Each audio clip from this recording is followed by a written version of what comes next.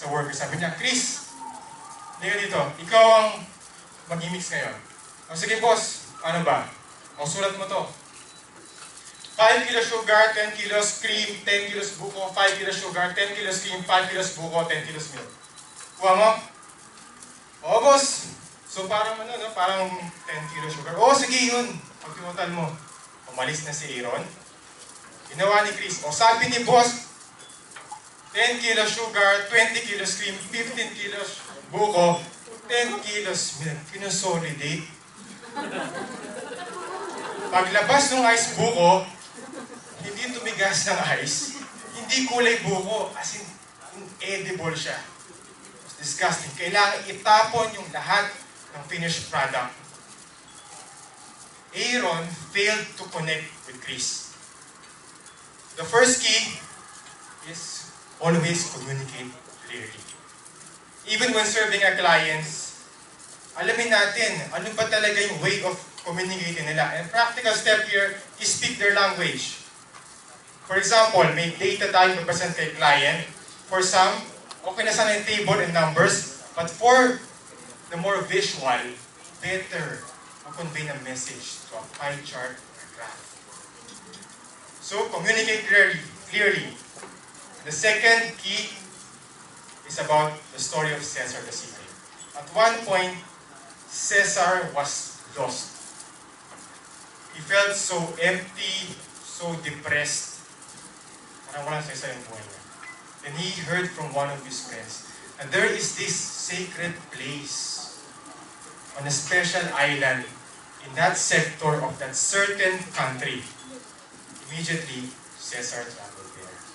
Pagdating niya doon, punta siya sa pier kagad kasi kita niya na yung island para bumili ng ticket. One ticket please. Foreign language. No, no, no, no, no, no. No ticket. Ticket for later? No, no, no. No ticket for later. Ticket for tomorrow? No, no, no. No travel. Ikita ko na eh, sabi ni Cesar. Ayan na. So ginawa niya, pumunta siya sa shore. He talked to a couple of fishermen. Could you bring me to that temple? No, no, no, no. Not allowed. I'm praying to that temple. Okay. Pinabigyan siya. They went across the water. Then pagdating sa kabila, umakyat siya kagad pakyat doon sa island. He was very excited kasi finally, makikita niya na yung hinahanap niya.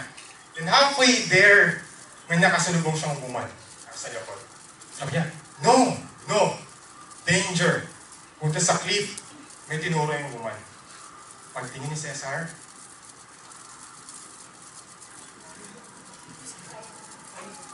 you were armed men. Parang nakapandana na sa bangka, parating, may daggers, and my long guns. Immediately, kinabahan ng soldiers. Ano ba itong pinasok ko? Then he turned around and he ran down the hill kasama niya yung woman. Pagdating niya sa dulo, nakita siya ng parang police barrier, wala siyang pakialam. Help, help! Sabi nung police officer, English na, halt, stop!